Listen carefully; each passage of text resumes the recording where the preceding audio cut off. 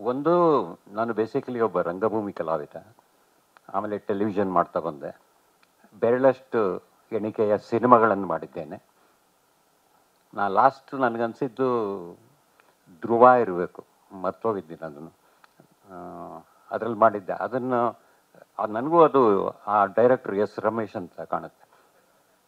ಅವರು ಕಡೆಯಿಂದ ಫೋನ್ ಬಂತು. ನನ್ನ ಅವರು ನಾನು ಫಸ್ಟ್ ಕೇಳಿದ ಪ್ರಶ್ನೆನೇ ಸರ್, ನಿಮಗೆ ನಾನೇ ಆಗಿ ಗೊತ್ತು ಅಂತ. ಅಂದರೆ I was not a popular guy ಆಮೇಲೆ, ಇಲ್ಲ, ನನಗೆ ಗೊತ್ತಾಯ್ತು, ಹೀಗೆ ನಾನು ನೋಡಿದೆ. ಏನು ರೋಲು ಹೀಗೆ ಒಂದು ಪೊಲಿಟಿಷಿಯನ್ ರೋಲ್ ಸರ್, ಬೇಡ ಸರ್, ನನಗೆ ಪೊಲಿಟಿಷಿಯನ್ ರೋಲೆಲ್ಲ ಸುಮ್ಮನೆ ಅಜ್ಜನ ನಿಲ್ಲಿಸ್ಬಿಟ್ಟು ಹಿಂಗೆ ಶಾಲಿ ಶಾಟ್ ಹಾಕ್ಬಿಟ್ರೆ ಏನು ಪ್ರಯೋಜನ? ಇಲ್ಲ ಇಲ್ಲ. ಆ ಥರ ರೋಲ್ ಅಲ್ಲ. ನಿಮಗೆ ಒಳ್ಳೆ ಓಂಪುರಿ ಜೊತೆ ಕಾಂಬಿನೇಷನ್ ಇದೆ ಅಂತ. ಓಂಪುರಿ ಅಂದ ತಕ್ಷಣ ನಾನು ತಕ್ಕಂತ ಒಪ್ಕೊಂಬಿಟ್ಟೆ. ಆ್ಯಂಡ್ ಭಾಳ ಚೆನ್ನಾಗಿತ್ತು ಸೀನ್ಸು ತುಂಬ ಚೆನ್ನಾಗಿತ್ತು. ಆದರೆ ಅವ್ರ ಅದೃಷ್ಟನೋ, ನಮ್ಮ ದುರಾದೃಷ್ಟನೋ, ಯಾರ ದುರಾದೃಷ್ಟನೋ ಸಿನಿಮಾ ಅಷ್ಟಾಗೇನು ಶಬ್ದ ಮಾಡಲಿಲ್ಲ. ಅದಾದ್ಮೇಲೆ ಸುಮ್ಮನೆ ಆಗ್ಬಿಟ್ಟು ನನ್ನ ಪಾಟಿಗೆ ನಾನು ರಂಗಭೂಮಿ ಕೆಲಸ ಮಾಡ್ಕೊಂಡಿದ್ದೆ. ಈ ಸಿನಿಮಾ ಕೂಡ ನನಗೆ ನನ್ನ, ನಮ್ಮ ತಂಡದ ಒಬ್ಬ ಹುಡುಗ ಇದ್ದಾನೆ, ದಕ್ಷ ಅಂತ. ಅವನು ಒಂದು ದಿವಸ ನಾವು ಶೋ ಇತ್ತು ರಂಗಶಂಕರದಲ್ಲಿ. ಅವನು ಬಂದು, ಸರ್, ಇಲ್ಲಿ ಶ್ರೀಲೇಶ್ ಅಂತ ಒಬ್ಬರು ನಿರ್ದೇಶಕರಿದ್ದಾರೆ. ಅವ್ರಿಗೆ ನಿಮ್ಮ ಬಗ್ಗೆ ಹೇಳಿದ್ದೀನಿ. ಅವ್ರನ್ನ ಸಿನಿಮಾ ಮಾಡ್ತಾ ಇದ್ದಾರೆ ಒಂದು ಪಾತ್ರ ಮಾಡಬೇಕು. ಮಾತಾಡಿ ಸರ್, ನೋಡಿ, ನಿಮ್ಗೆ ಇಷ್ಟ ಆದರೆ ಮಾಡಿ. ಆಮೇಲೆ ಕೆಳಗಡೆ ಅಲ್ಲೇ ರಂಗಶಂಕರದಲ್ಲಿ ಬಂದು ನೋಡಿದೆ ಮನುಷ್ಯ ಹುಡ್ಕಕ್ಕೆ ಒಂದು ಎರಡು ನಿಮಿಷ ಆಯಿತು. ಅಷ್ಟು ಹ್ಯೂಜ್ ಪರ್ಸನಾಲಿಟಿ ಅವ್ರದ್ದು ಮಾತಾಡಿದೆ, ತುಂಬ ಚೆನ್ನಾಗಿ ಮಾತಾಡಿದ್ರು. ಅವರು ನರೇಟ್ ಮಾಡಿದ ಸ್ಟೈಲಲ್ಲೇ ನನಗೆ ಗೊತ್ತಾಯಿತು, ಇವರಲ್ಲಿ ಏನೋ ಒಂದು ವಿಷಯ ಇದೆ ಅಂತ. ಹಾಗಾಗಿ ನಾನು ಹೇಳಿದೆ ಅವ್ರಿಗೆ, ನೋಡಿ ಸರ್, ನಾವು ರಂಗಭೂಮಿ ಕಲಾವಿದರಿಗೆ ದೊಡ್ಡ ಪಾತ್ರ, ಚಿಕ್ಕ ಪಾತ್ರ, ಆ ಪಾತ್ರ, ಈ ಪಾತ್ರ, ಮುಖ್ಯವಾದ ಪಾತ್ರ. ಅಂದರೆ ಅದು ಎರಡು ದಿವಸದ ಕೆಲಸ ಇರೋ ಒಂದು ದಿವಸದ ಕೆಲಸ ಇರ್ಬೋದು. ಆದರೆ ಪ್ರಾಮುಖ್ಯತೆ ಇರಬೇಕು ಆ ಪಾತ್ರಕ್ಕೆ. ಅಂಥ ಪಾತ್ರ ಖಂಡಿತ ಮಾಡ್ತೀನಿ ಸರ್. ನನಗೇನು ಥ್ರೋಟ್ ಸಿನಿಮಾ ಇರಬೇಕು, ಆ ಥರದ್ದೇನು ಆಸೆ ಇಲ್ಲ ಆಮೇಲೆ ಅವರು, ಇಲ್ಲ, ಈ ಥರ ಇದೆ, ಈ ಥರ ಇದೆ ಅಂತ ಹೇಳಿ ಕೊನೆಗೆ ಇವರು ಪಟೇಲ್ ಹೇಳ್ದಾಗೆ ನಾವು ಬರೀ ಟ್ರೇಲರೇ ನೋಡಿರೋದು. ಸಿನಿಮಾ ನೋಡಿಲ್ಲ. ಯಾಕಂದರೆ ಒಬ್ಬ ಆರ್ಟಿಸ್ಟ್ಗೆ ಏನಾಗುತ್ತೆ, ಕೆಲಸ ಮಾಡುವಾಗ ಅವನ ಪಾತ್ರ, ಅವನು ಏನು ಮಾಡ್ಬೋದು, ಹೇಗೆ ಮಾಡ್ಬೋದು, ಅವ್ನ ಕಾಂಟ್ರಿಬ್ಯೂಟ್ ಏನು, ಯಾವ ರೀತಿಲಿ ಮಾಡ್ಬೋದು, ಈ ಥರ ಯೋಚನೆ ಮಾಡ್ತಾ ನಾವು ಒಂದು ಪಾತ್ರವನ್ನು ಮಾಡ್ತಾ ಹೋಗ್ತೀವಿ. ಆದರೆ ಫೈನಲ್ ಎಡಿಟ್ ಆದಮೇಲೆ ಫೈನಲ್ ಕಟ್ ಆದಮೇಲೆ ಮ್ಯೂಸಿಕ್ ಹಾಕಿದ್ಮೇಲೆ ಗ್ರಾಫಿಕ್ಸ್ ಈಗಂತೂ ಗ್ರಾಫಿಕ್ಸ್ ಟೆಕ್ನಿಕ್ ಇದೆ. ಸೊ ಅವೆಲ್ಲ ಆದಮೇಲೆ ಅದು ಹೇಗೆ ಮೂಡಿ ಬರುತ್ತೆ ಸ್ಕ್ರೀನ್ ಮೇಲೆ ಅನ್ನೋದು ನಂಗೆ ಈಗ ಸದ್ಯಕ್ಕಂತೂ ನನಗೆ ಯಾವುದು ಗೊತ್ತಿಲ್ಲ. ಅದು ಹೇಗೆ ಬಂದಿದೆ ಅಂತ ಸಿನಿಮಾ ನೋಡಿದವ್ರು ಹೇಳಬೇಕು. ಅದಕ್ಕಿಂತ ಹೆಚ್ಚಾಗಿ ಯಾವುದೇ ಸಿನಿಮಾ ಬಹಳ ಕಷ್ಟಪಟ್ಟೆ ಮಾಡೋದು. ಯಾವುದೇ ಸಿನಿಮಾ ಆಗಲಿ, ಯಾರು ತಮ್ಮ ಸಿನಿಮಾ ಫೇಲಿಯರ್ ಆಗಬೇಕು ಅಂತ ಯಾರೂ ಮಾಡೋದಿಲ್ಲ.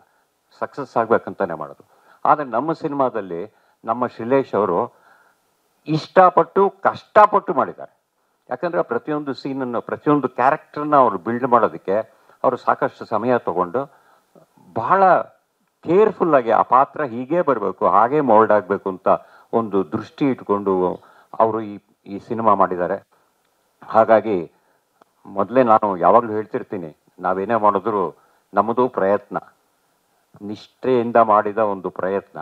ಆದರೆ ಫೈನಲ್ ಜಡ್ಜಸ್ಸು ನಮ್ಮ ಪ್ರೇಕ್ಷಕರು.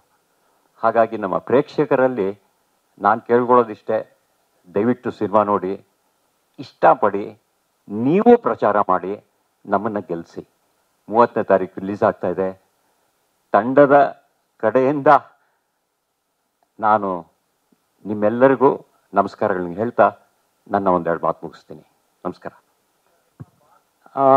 ಒಂದೆರಡು ಸಲ, ಒಂದು ಸಲ ಆಗುತ್ತೆ ಅದು. ಕೆಲಸ ಮಾಡುವಾಗ ಏನಾಗುತ್ತೆ, ಏನೋ ಒಂದು ಅವ್ರದ್ದು, ಸಣ್ಣ ಪುಟ್ಟದ್ದಾಗತ್ತೆ. ಅಂದರೆ ಮೇಜರ್ ಚೇಂಜಸ್ ಅಂತೂ ಮಾಡ್, ಮಾಡೋಕ್ಕಾಗಲ್ಲ. ಯಾಕಂದರೆ ಸ್ಕ್ರಿಪ್ಟ್ ಅಷ್ಟು ತುಂಬ ಚೆನ್ನಾಗೇ ಮಾಡಿದ್ರು ಅವರು.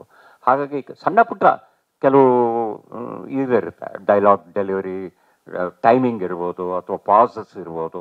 ಯಾಕಂದರೆ ಡೈಲಾಗ್ ಇರುವಾಗ ಏನಾಗುತ್ತೆ ಪಾಸ್ ಅನ್ನೋದು ಬಹಳ ಮುಖ್ಯವಾದಂಥ ಒಂದು ಅಂಶ ಅದು. ಯಾವುದೇ ಆರ್ಟಿಸ್ಟ್ಗೆ ಅವ್ನು ಎಲ್ಲಿ ಪಾಸ್ ಇವಾಗ ನಜರುದ್ದೀನ್ ಶಾ ತಗೊಳ್ಳಿ. ನಾನು ಭಾಳ ಇಷ್ಟ, ಆ ಕಾಲದಲ್ಲಿಂದ ಪಡೆದ. Kamal Haasan for that matter ಅವ್ರು ಪಾಸಲ್ಲೇ ಕೆಲಸ ಮಾಡ್ತಾರೆ. ಅಂದರೆ ಕ್ಯಾಮ್ರಾ ಮುಂದೆ ಏನೂ ಮಾತಾಡಿದೆ. ಆ ಎಕ್ಸ್ಪ್ರೆಸ್ ಮಾಡೋದಿದೆಯಲ್ಲ, ಅದು ಬಹಳ ಕಷ್ಟವಾದ ಕೆಲಸ. ಡೈಲಾಗ್ ಹೇಳ್ತೀವಿ. ಆದರೆ ಆ ಪಾಸಲ್ಲಿ ಕೆಲಸ ಮಾಡೋದಿದೆಯಲ್ಲ, ಅದು ಇಟ್ಸ್ ರಿಯಲಿ ಒಂದು ನಿಜವಾದ ಇನ್ಬಾರ್ನ್ ಟ್ಯಾಲೆಂಟ್ ಅಂತ ನನ್ನ ಅನಿಸಿಕೆ. ನೋಡಿ ಸರ್, ಎಲ್ಲರೂ ಮಾತಾಡಿದ್ದಾರೆ ದೊಡ್ಡ ದೊಡ್ಡವರೆಲ್ಲ ಮಾತಾಡಿದ್ದಾರೆ. ಇದು ಈಗ ನಿಮ್ಗೆಲ್ಲರಿಗೂ, ನಮಗಿಂತ ಚೆನ್ನಾಗಿ ನಿಮಗೆ ಗೊತ್ತಿರುತ್ತೆ ಸರ್. ಯಾಕಂದರೆ ಈ ಇತ್ತೀಚಿನ ದಿನಗಳಲ್ಲಿ ಇಡೀ ಪ್ರಪಂಚದಲ್ಲೇ ಇಂಡಿಯಾ ಬಿಟ್ಬಿಡಿ, ಇಡೀ ಪ್ರಪಂಚದಲ್ಲೇ ವೈಲೆನ್ಸ್ ಅನ್ನೋದು ಹಬ್ಕೊಂಡ್ಬಿಟ್ಟಿದೆ. ಆ್ಯಂಡ್ ನಾವು ಬರೀ ಪೇಪರ್ ಓದ್ಬೋದು ಟಿ ವಿ ನೋಡ್ಬೋದು ಸೋಷಿಯಲ್ ಮೀಡಿಯಾದಲ್ಲಿ ಏನು ಬರುತ್ತೋ ಅದು ನೋಡ್ಬೋದು. ಆದರೆ ನೀವು, ನಿಮಗೆಲ್ಲ ಏನಾಗುತ್ತೆ? ಪ್ರತ್ಯಕ್ಷ ಸಾಕ್ಷಿಗಳಾಗಿರ್ತೀರಿ ಎಷ್ಟೋ ಕಡೆ.